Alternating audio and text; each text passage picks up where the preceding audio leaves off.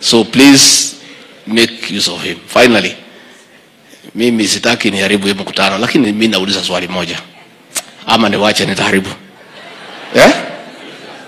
Niulize, mtanijibu? Sasa nyinyi, surely even if you believed that we are useless the way you had been told, na hiyo uongo yote na vitina na propaganda, ati sisi tutaharibu biashara, tutapeleka mahasula nini nini, wale walikuwa namwambia the alternative they were giving you, tuseme ukweli, hao wangeweza kuamka mapema kuja kwa hii mkutano? Tuambiane ukweli. Surely, you know, you know, let, let, let's be truthful.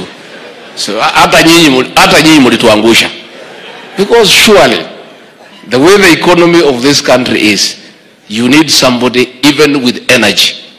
Energy leave alone other things.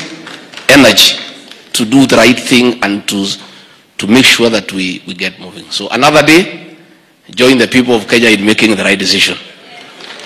With those very many remarks it's now my privilege to present to you a great man whom we have given the responsibility to turn around The project of reforming the chamber that uh, Trademark East Africa is undertaking to be able to organize the bottom is a shared agenda with our government. My ministry is involved in that particular initiative.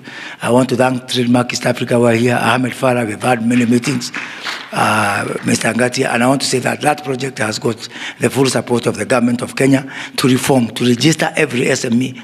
Because we keep on arguing. The other day, we had having a meeting with yourself, Your Excellency, with K.